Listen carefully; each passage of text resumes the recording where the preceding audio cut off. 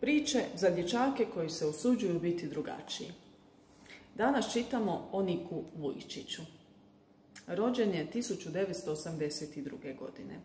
Voli skakanje padobranom, nogomet i plivanje. Piše knjige.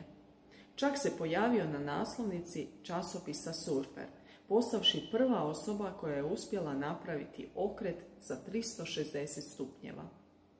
Ali Nik je rođen bez ruku i nogu. Liječnici su na porodu ostali zapanjeni.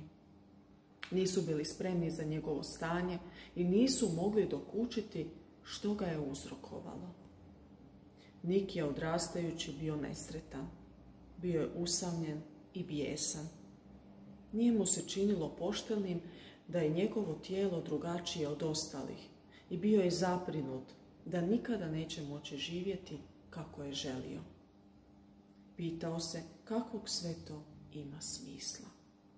Razmišljao je što da učini sa svojim životom. A onda je jednoga dana pročitao članak o osobi s invaliditetom koja je svojim govorima o nadladavanju poteškoća nadahnula tisuće drugih. Odlučio je da si on želi okušati u tome. Prvi je govor održao u dvorani pred 300 14-godišnjih učenika. Bio je toliko nervozan da se sav tresao.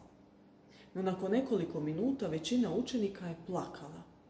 Jedna je djevojčica podignula ruku. Oprostite što vas prekidam, rekla je.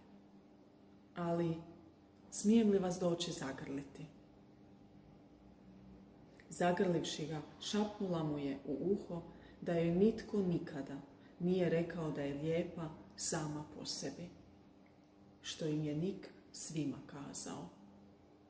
Od tog je trenutka Nik znao čime se želi baviti. Proputovao je 44 zemlje. Održao više od 3000 govora. Kamo god pošao, iza njega ostaje nadahnuta i ganuta publika. Ljudima daje do znanja da su svi voljeni i predivni čak i ako se ne osjećaju tako. Misliti da nisi dovoljno dobar je laž, reče. Misliti da ništa ne vrijediš je laž.